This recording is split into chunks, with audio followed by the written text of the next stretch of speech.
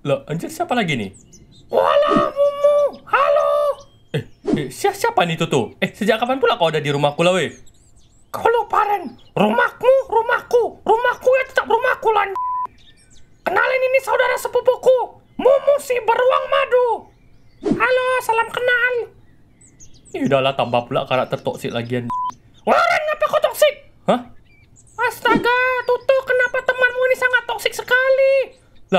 eh, eh kalian pun toksik. Eh, jangan kau sama ratakan lah. Kayak si si si itu. Ya enggak lah, Mumu ini beruang madu yang sangat ramah dan formal lah, woi. Iya, benar sekali. Mohon jangan berkata kasar denganku ya. Hah? Eh? Eh, eh, eh kalau kayak gini kan enak. Ayo sini Momo, welcome to my base. Ayo silakan silakan masuk kau, masuk. Mau kue kau? Ayo Tutu jangan malu-malu, makanlah. Terima kasih temannya Tutu. Ah, Mumu jadikan apanya? Oh iya.